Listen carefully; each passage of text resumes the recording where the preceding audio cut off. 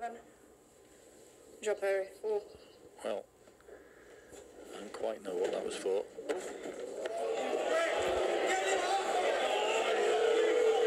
These terrible, terrible scenes here at the Crucible. Everybody trying to enjoy the snooker. I've never seen anything like this in 25 years of watching or working on the Crucible Theatre snooker. And we will now have a significant delay. Joe Perry and Rob Milkins managing to see the funny side. A packed arena on a wonderful night at an event that is always. Well, history created at the Crucible.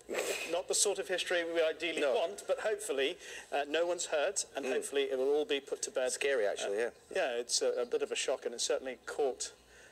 Well, unfortunately, that has happened to Table One. Um, wow. So this is obviously going to cause a huge delay, uh, and we have a real issue on our hands. Um, the protesters causing uh, issues at the World Snooker Championship, not something that we entirely predicted, um, but these things are happening with increasing regularity. Um,